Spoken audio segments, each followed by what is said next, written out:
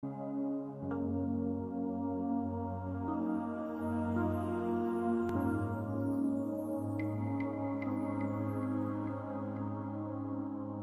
se identifica un buen actor? Alguien apresuradamente me dirá que se identifica por la credibilidad de sus personajes. Y eso está bien, pero no es suficiente. Para ser un buen actor, ante todo, deberemos tener presente que nosotros le prestamos temporalmente nuestro cuerpo al personaje para que pueda relacionarse con los demás personajes de la obra en cuestión pero deberemos tener mucho cuidado para evitar comprometer nuestro yo interior con el del personaje. Si no, este puede llegar a anularnos como individuos. Recordemos lo que le sucedió a mi querido Jorge Montejo, más conocido por el nombre de Paolo el Roquero, que lo llevó a una internación psiquiátrica porque su personaje lo anuló como persona. Teniendo ese cuidado, deberemos darle vida al personaje que hasta ese momento es nada más que un montón de palabras en un libreto. Por eso, cuando actuamos, se dice que encarnamos a tal o cual personaje, es decir, le prestamos, entre comillas, nuestra carne para que tome forma humana, de ahí el vocablo encarnar.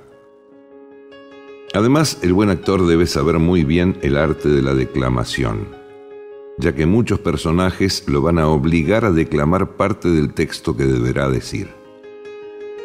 Y declamar no es ponerse solemnes, porque por ejemplo estamos diciendo un párrafo del Rey Lear de William Shakespeare. No. Declamar es darle a cada palabra el valor que tiene por sí misma y el que asume cuando está en medio de una frase generando un clima o una intención. Si bien miramos, todos, en alguna medida, somos actores, ya que la vida nos mueve a adoptar conductas que no siempre se condicen con nuestra personalidad.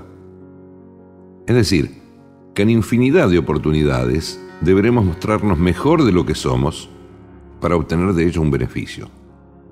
Puede ser un trabajo, un ascenso, un amor, etc. Eh, aunque hago la aclaración, en el caso del amor, no es bueno actuar. Se termina pagando caro ahí es preferible ser uno mismo.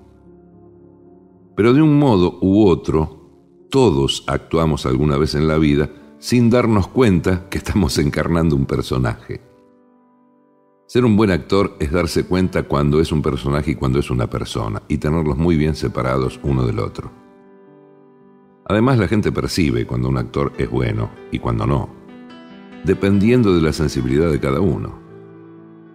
Recuerdo que no hace muchos años fui a ver una obra de teatro aquí en Capital Federal y salió a escena un primer actor, no recuerdo su nombre, pero era un gran actor. Diré que solo con su forma de caminar el escenario me mostraba lo buen actor que era. Luego su intervención en la obra ratificó lo que yo había percibido.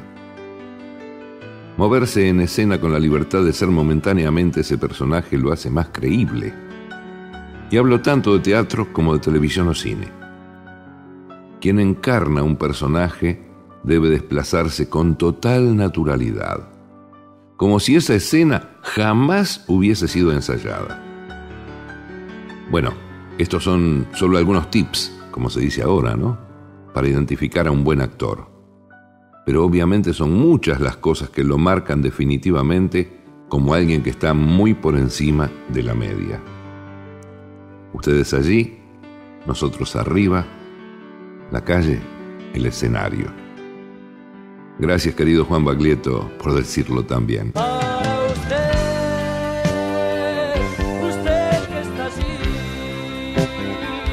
Nosotros arriba, la calle les